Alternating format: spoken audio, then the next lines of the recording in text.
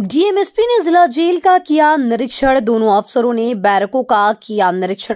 mess hospital में देखी सफाई व्यवस्था एसपी अमित कुमार आनंद ने बंदियों की जानी समस्या सुरक्षा उपकरणों व सीसीटीवी की क्रियाशीलता भी देखी डीएम ने बंदियों के व्यवसायिक प्रशिक्षण का भी लिया जायजा बीमार बंदियों को बेहतर चिकित्सा के दिए निर्देश महिला बंदियों से अफसरों ने पूछताछ भी की जेल व्यवस्थाओं से संतुष्ट दिखे अफसरों ने जेल अधीक्षक के काम को सराहा